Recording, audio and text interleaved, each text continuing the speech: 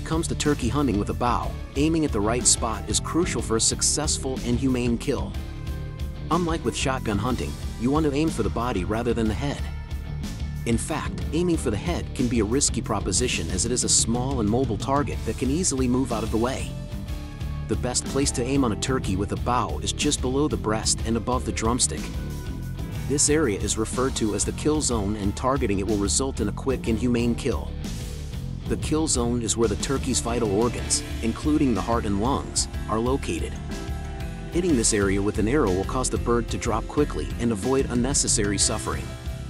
It's important to note that hitting the back half of the turkey can cause significant damage to the meat.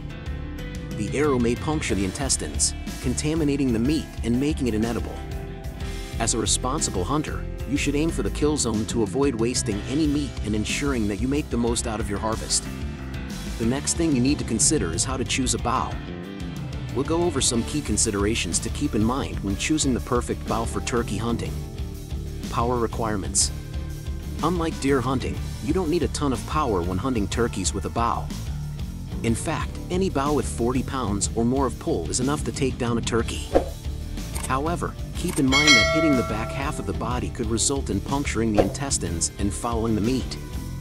Therefore, aim for just below the breast and above the drumstick for a clean kill. Ergonomics. When selecting a bow for turkey hunting, ergonomics should be a top priority. You want a bow that's short enough to maneuver in a small blind, and one that's easy to handle. Look for a bow that's well balanced and comfortable to hold, with a grip that fits your hand well. Accuracy. Accuracy is key when it comes to bow hunting for turkeys. A high let-off is good, and a compound bow is often preferred over a recurve.